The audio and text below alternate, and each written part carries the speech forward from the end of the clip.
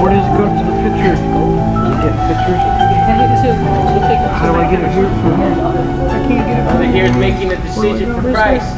He's taking the next step after salvation to, to, to dunk himself in the pool here, just like Jesus did.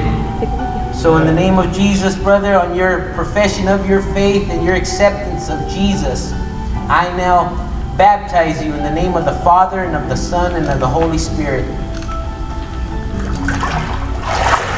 In Jesus' name.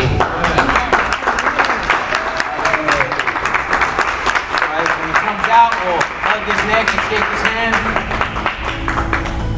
Man, You're slow, dude. you didn't Pick want up it? a video.